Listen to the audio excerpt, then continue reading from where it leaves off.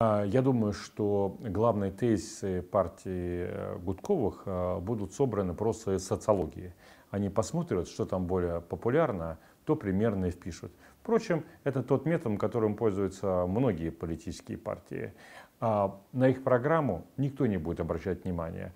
В целом их программа будет соответствовать программе Координационного совета, поскольку у них был выбор, где быть, в Координационном совете или Справедливой России. Они выбрали Координационный совет. Конечно, КС оппозиции – это тонущий корабль, но вместо него наверняка будет, после того, как КС утонет, наверняка будет создано какое-то новое политическое образование, поскольку все-таки митинги были, а, широкая поддержка за рубежа есть, а, поддержка средств массовой информации есть, поэтому утонуть ему не дадут. Из обломков КС склепают какой-нибудь политический плод, на котором его члены найдут свое место и будут ждать будущей бури, из которой, как они верят, родится их новый большой красивый парусник.